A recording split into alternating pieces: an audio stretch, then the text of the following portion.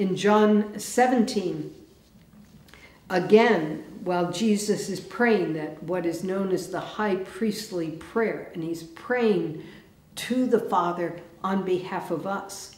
And he says, I do not pray for these only, but also for those who believe in me through their word. That's you and me. That they may all be one, even as you, Father, are in me, and I in you, that they also may be in us, so that the world may believe that you have sent me. The glory which you have given me, I have given to them. That's us. That they may be one, even as we are one. I and them, you and me, that they may become perfectly one, so that the world may know that you have sent me and that you love them even as you love me. Here it is again, John 15, John 17, there are other places. Take that word to heart. You are that loved. I in them and thou in me, that they may become perfectly one, so that the world may know that thou hast sent me and hast loved them, even as thou hast loved me. Father, I desire that they also, whom thou hast given me, may be with me where I am. May be with Jesus where he is at the right hand of the Father. This is not pious language, it's reality. And it's when, let me just pause here and say, this is a talk on intercession. When we believe the Word of God and we live out of who we are, we begin to take on His mind, His priorities, His agenda. We begin to see things with a different lens. And then when we pray, and we don't have to have it all down pat, we're never going to have it down pat. But as we move in that direction, more and more is God able to reveal to us what he most hopes for in another person or in a situation. And we learn how to pray according to the mind of God. And when we pray that way, our prayers are It's really true.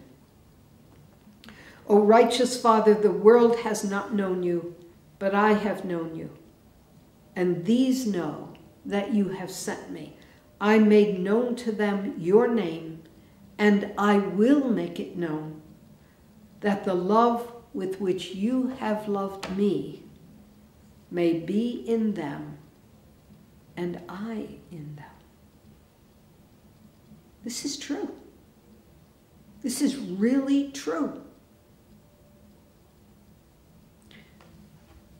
In the family, husbands should be praying for wives and wives for husbands daily. Together, you should be praying for your children. If you're the owner of a business, you should be praying for your employees. And your employees should be praying for you, but you start first.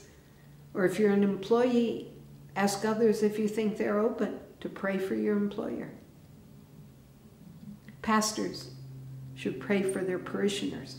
Other priests who are in other works of ministry, pray for those you serve.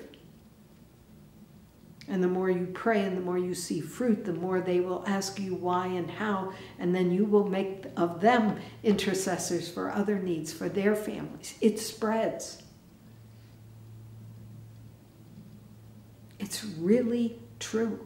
Intercession, standing before the face of the Father on behalf of someone with Jesus in the power of the Holy Spirit, you can't lose. It may take time, but you can't lose.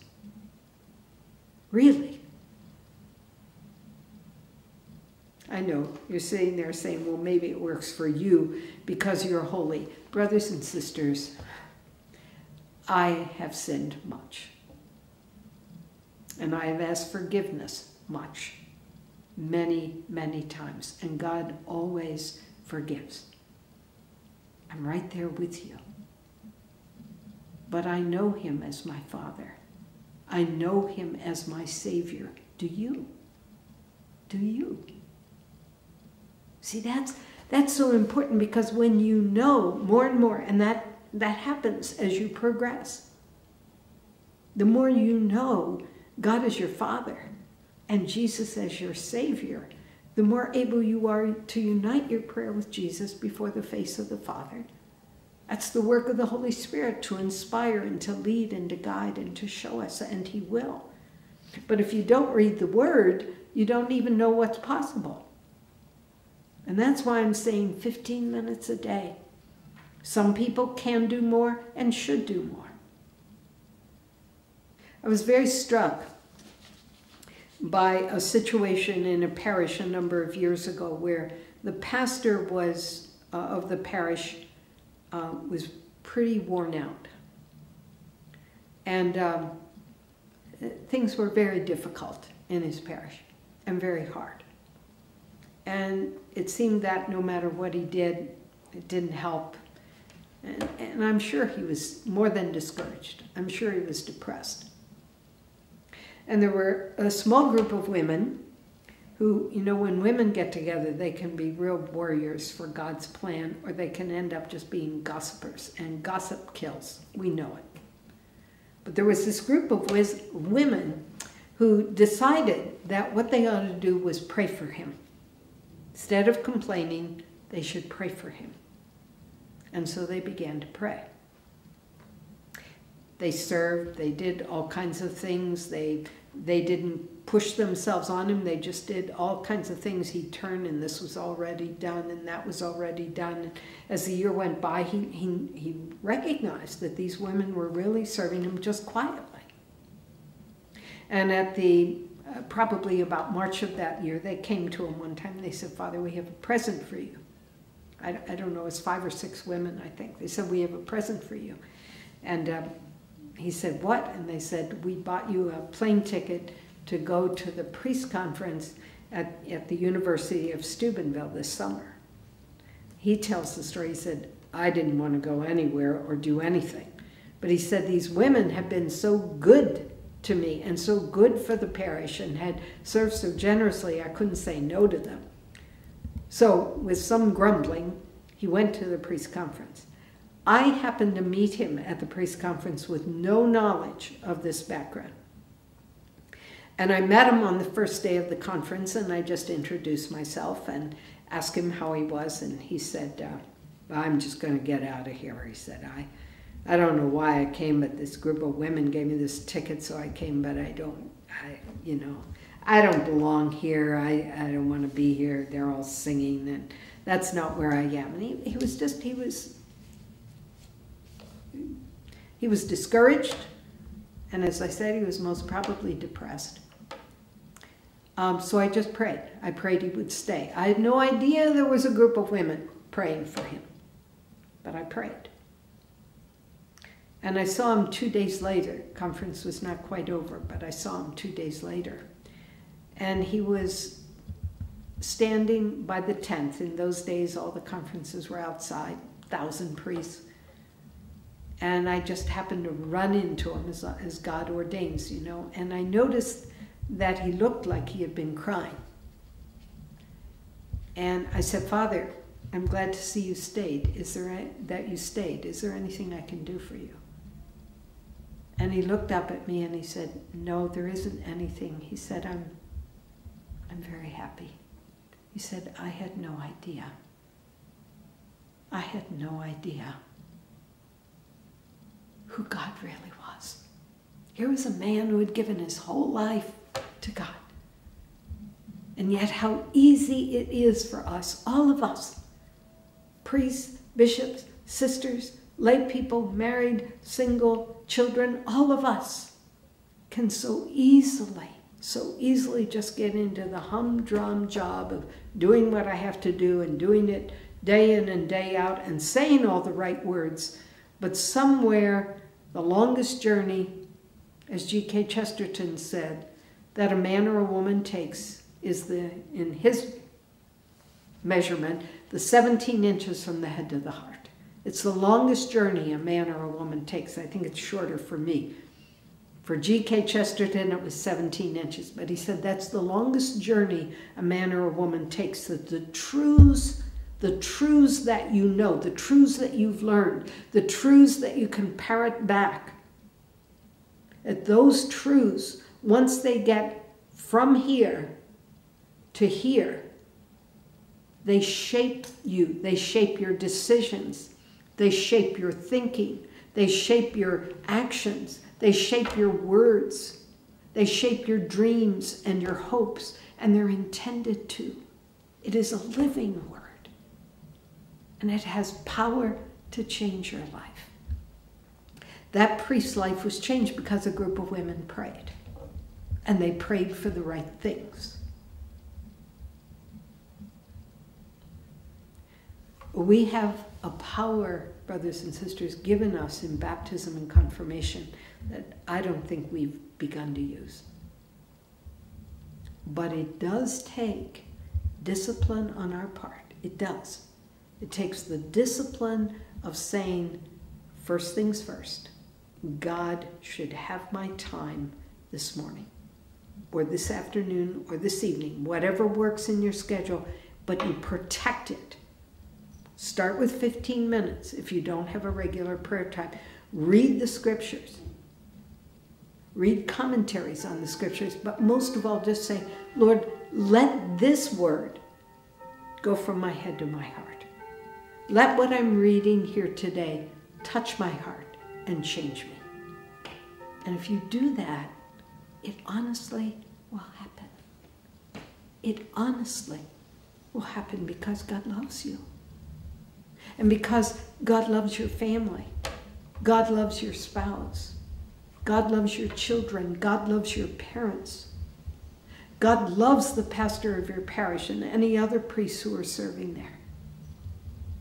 God loves them. And He wants you to become light in the darkness. He really does.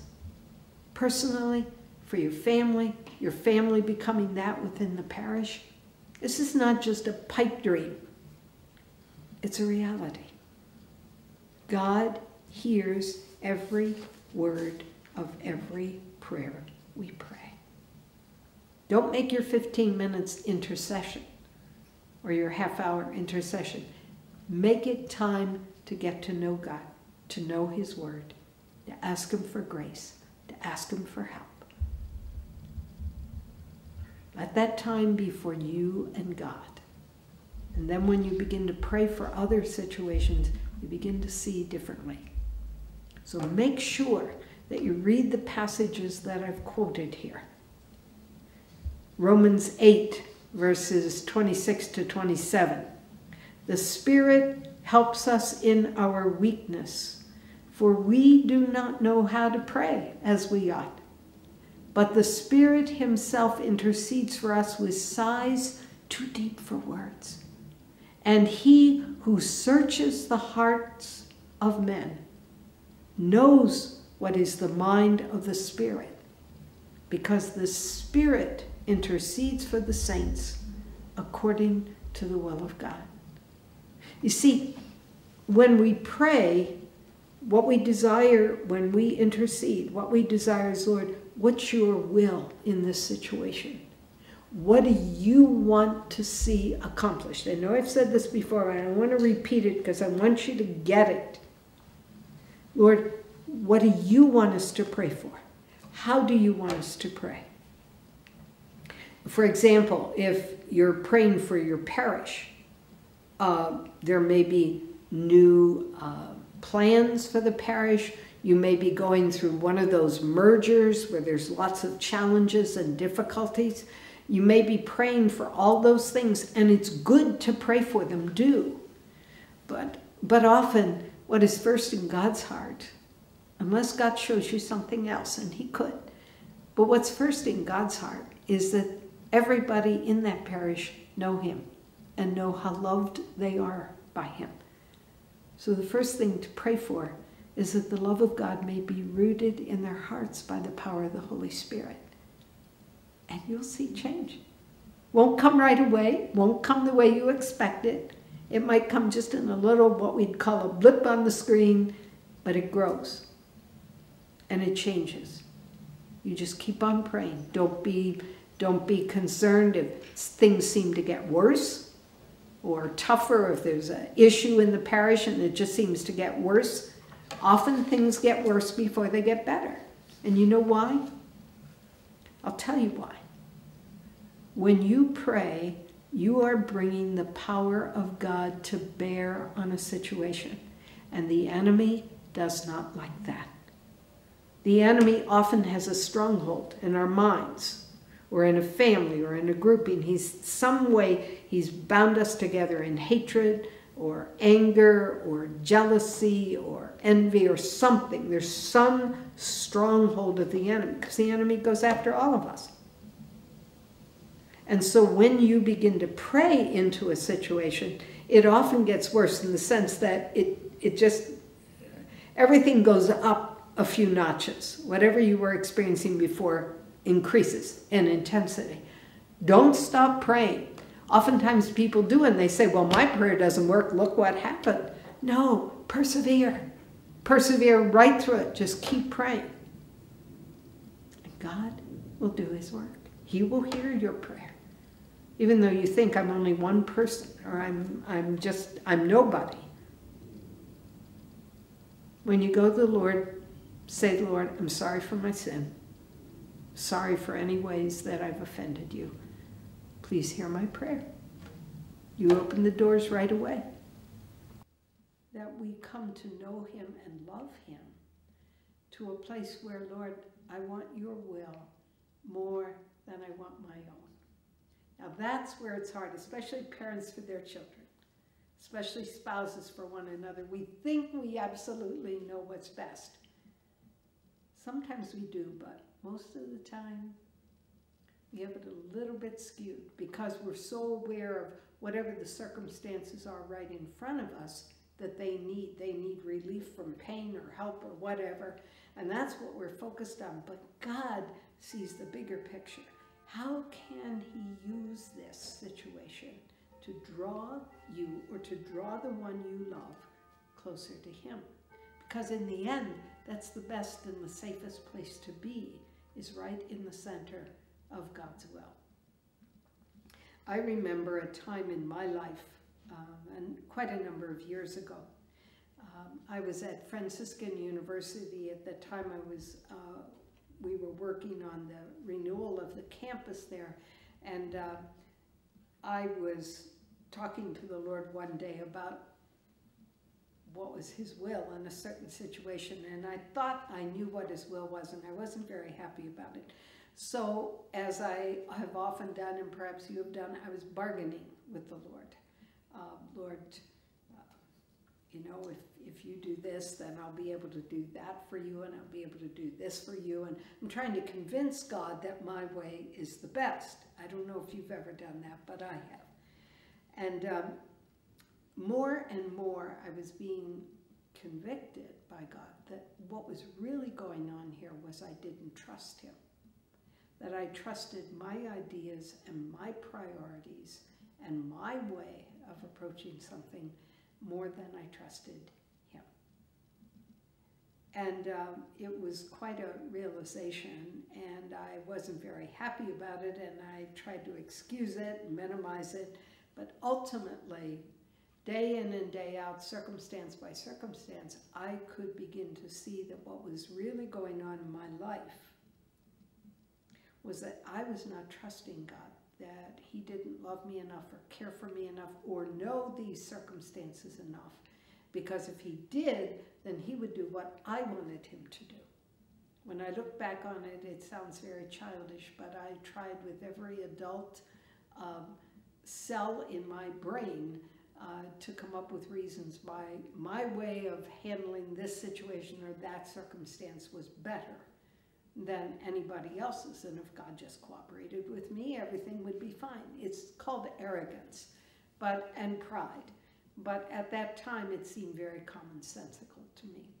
So after many, many weeks with this, I finally said to the Lord, and it was a, it was a dangerous prayer, but it's a prayer that I repeat often now in my life. I said to the Lord, I do love you and I do want your will more than I want my own. I'm scared to say that. So, whatever you need to do to change me, do it. I'll tell you what happened to me, and I'm, I tell it knowing that I might just scare you away from wanting God's will. But listen to me for the whole thing. About 30 seconds after I prayed that prayer, a car, I was driving home. It was snowing, it was uh, uh, early in the evening, and I was coming home. And as I passed a side street where there was a stop sign, the driver, who turned out be drunk, uh, ran the stop sign and uh, plowed right into the door on the driver's side, right where I was, put my head through the window on the driver's side, and then threw me across to the other side. Took the jaws of life, or whatever we call them, to get me out of that. Um, I had about a month of recuperation. I had lots of stitches. Um, broken bones of my face. Um, and so it took a while before I could come out of all that pain and dealing with it. And I was right away arguing with God. Why did you let this happen? You've asked me to do this and do that, and now this has happened. And I really did sense, you can take this for what it's worth, but I really did sense the Lord himself walk into my room. I couldn't, no audible words, I saw nothing, but I knew his presence. And it was as though the Lord sat down beside me. And he said, I want you to listen to me. And then he talked to me about his love for the Father's will and about how he wanted me to have the same love for the Father's will that he had. It began uh, what I would call a very intimate time with the Lord over the next month while I recuperated. I cherish those days now. I cherish every bit of it, and I was completely healed. There's no residual effects, which was amazing. But God used that because I don't think He could have gotten my attention any other way. And He taught me about how His Father's will was the safest and the most beautiful, in a sense, place to be. I still wrestle. There are times when I say to God, I want to want your will, but right now I don't. I mean, even one time I said to Lord, I want to want to want your will. I was getting back about three steps, but very quickly I can move toward trusting him because I saw what he did for me and I came into a depth of understanding of God's will and loving his will uh, more than I ever could, probably in any other way for me. You don't have to be perfect. All you have to do is be a sinner who knows who saves us. That's all you have to be. And one who gladly goes to him asking forgiveness. It takes humility. But oh my goodness, the treasures that God gives us when we when we humble ourselves and say, I'm part of the problem that I'm praying for. I've contributed to the problem. I'm sorry. We pray like that, God hears us. God will hear your prayer. All he wants us to do is come to him. And when we come to him, the more we've read his word and the more that word is living within us, marvelous changes. Also urge you, uh, if you're praying for something in particular, as often as you can go to daily mass. There's no greater uh, act of prayer than the sacrifice of the mass to offer to God. You can do it that way as well. Not only that way, but certainly that's the highest form.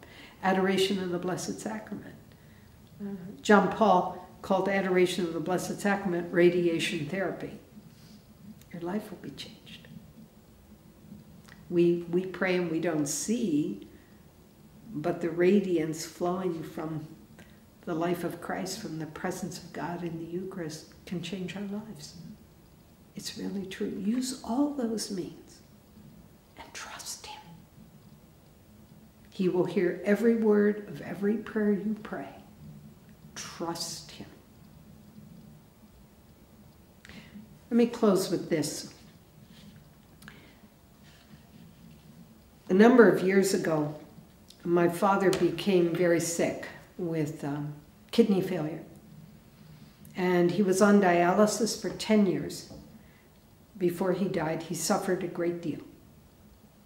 And I prayed that God would heal him. Oh my goodness, I prayed. Please, God, heal him. Because I've seen people healed. I've seen people miraculously healed. And I thought, I'll ask him. And so I just asked him, God, please, please heal alleviate his suffering. And I prayed and prayed and prayed.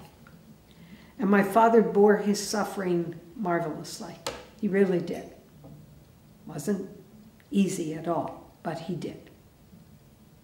And I still kept praying for the healing. Maybe this way, maybe that way. You know how we are. And on one very cold December night, in the middle of the night, my father died. Peaceful death, I know he's with the Lord, but there was still a lot of pain in my heart. And I remember leaving the hospital and getting into the car and saying to the Lord, remember, I said, Lord, I trust you that your way is better than my way. I trust you. But I said, in my weakness, will you please give me a sign that he's with you? Because then all suffering is gone.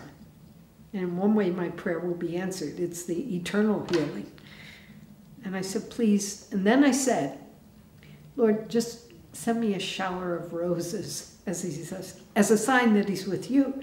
And I, I actually had to chuckle right then. I thought, well, that sounds like Therese of Lisieux. Never prayed that way before. It just came out of my mouth.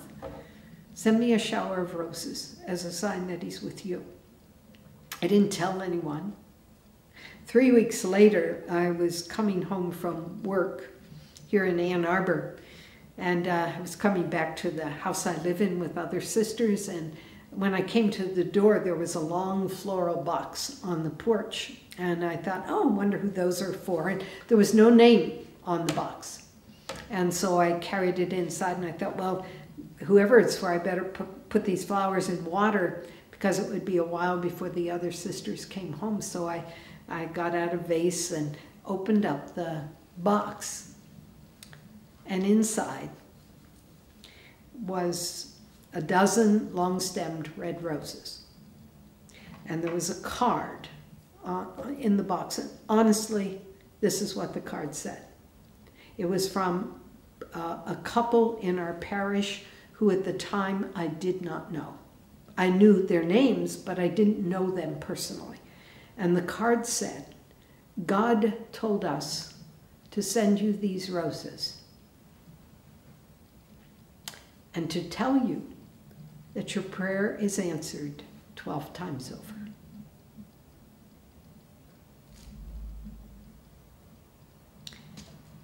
God answered my prayer far greater. I was looking simply with a finite view. God saw an eternal perspective. Ultimately, that's what we want for everyone we pray for, that they will be with Him forever. And God gave me that treasured moment and the openness of another family to respond to a genuine inspiration. We always have to test them.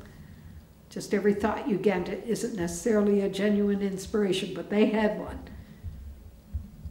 And they sent them flowers and I will never forget it. Brothers and sisters, we have a hidden power, so to speak. We really do. We have a hidden power that we don't use. We need to learn how to pray in His name. That means according to His will. I'm repeating myself on purpose. Asking God, what is your will in this situation? and asking yourself, what would God want here? And if you don't know, just say, Lord, I don't know how to pray, But I bring these prayers before you and I ask that you would fulfill your will in the best possible way. Sometimes we just have to pray that way. Sometimes God will give us a particular sense of how to pray. Brothers and sisters, there is a veritable powerhouse that would open in the life of the church, in the life of your parish, in the life of your family, and your workplace.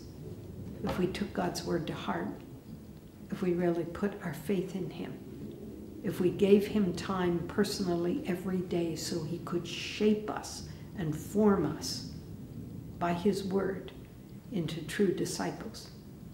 As we're going through that process, we're never, there's no graduation, it's a lifelong process. But the more we move in that direction, the more we will sense His mind and His will in a situation.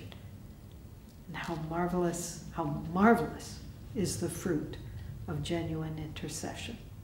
I ask that God would bless you and lead you and guide you. Any questions, just deliver them to me. God bless you.